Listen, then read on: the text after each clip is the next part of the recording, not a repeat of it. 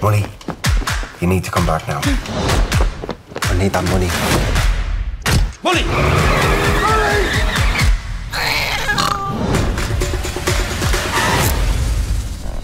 Who are you?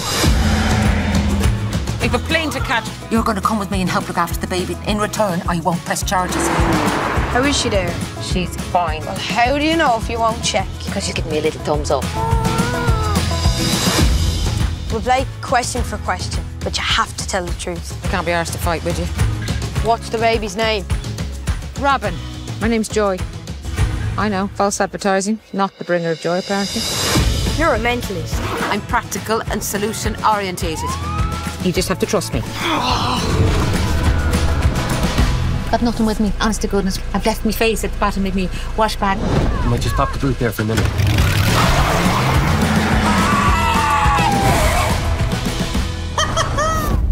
Jesus, I'm good. Why are you going to Droleen? To visit someone, to give them something. You know how lucky you are to have had your mum.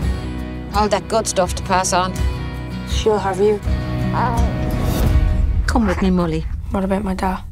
We'll figure that out. You're a piece of work, aren't you? You're forcing a child to keep stolen charity money that he wants to give back. Back off. She doesn't want me, Mully. She won't even take a bottle from me. You just think that she doesn't want you. He will keep using you until you're spent. At least my dad wants to keep me. I haven't decided anything yet. What do you want me to do, Mully? Stop promising things.